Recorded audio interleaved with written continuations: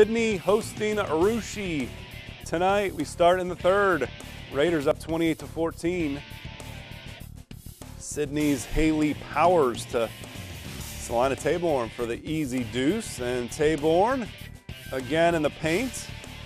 Another easy shot. Russia answers.